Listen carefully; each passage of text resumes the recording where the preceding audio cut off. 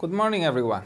This is Charalambos Pissouros, Senior Analyst at Iron FX, bringing you the morning comment for the 27th of July. All eyes will be on the FOMC policy meeting today, where the committee, the committee is almost certain to keep the federal funds rate unchanged. Given that there is no press conference and no updated forecasts uh, to be released at this meeting, market participants are likely to focus on the meeting statement, which we expect to reflect a more hawkish bias than the one in June. At the June meeting, officials expressed their, their, concerns over the softness in the May employment data and noted that the outcome of the UK referendum could delay their hiking plans. However, the Brexit vote has so far not caused the market chaos that many expected, while US data were resilient, suggesting a pickup in uh, quarter two GDP. Jobs growth recovered in uh, June while retail sales firmed and financial conditions ha have uh, calmed considerably with uh, the S&P 500 uh, recently reaching a new all-time high. We expect Fed members to acknowledge this in their statement, something that could support uh, the dollar somewhat on the decision. Nevertheless, we believe that some members in Yellen's uh, squad will still be nervous uh, that the referendum outcome may have more serious effects uh, in the future, perhaps when the UK Prime Minister Theresa May decides to invoke the, the Article 50. According to the Fed Funds uh, futures, the market has uh, brought well forth its uh, expectations for the next rate hike, which now prices fully in August 2017 from January 2019 ahead of the release of the May employment report. Yet we stick to our guns and we view the market as uh, more pessimistic than uh, the economic environment uh, currently suggests.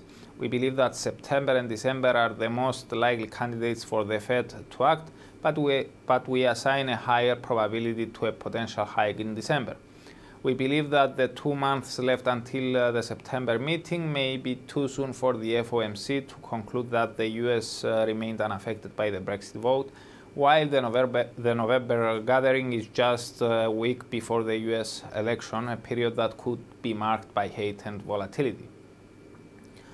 Overnight, uh, there were fresh reports that uh, Japan's Prime Minister Abe will announce uh, the details of a 27 trillion yen fiscal package that would also include the issuance of 50-year uh, bonds.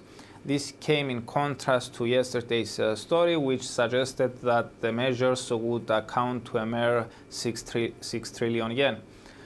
The yen slid on this news, but quickly recovered after the Ministry of Finance stated that it is not considering issuing 50-year bonds. Thereafter, Prime Minister Abe confirmed that the size of the package will exceed 28 trillion yen, causing the currency to tumble once again.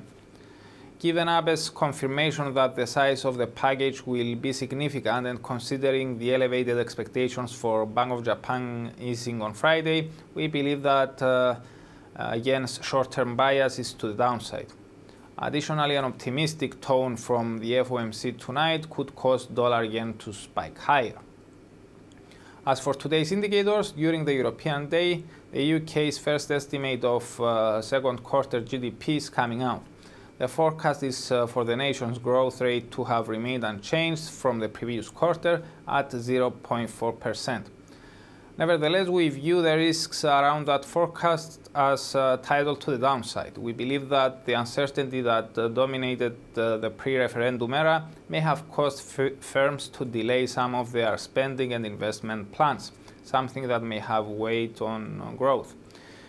Indeed, according to the Markit uh, service sector PMI reports, uh, the service sector, which accounts for almost 80% of the nation's GDP, suffered its uh, worst quarter for more than three years in the three months from April to June.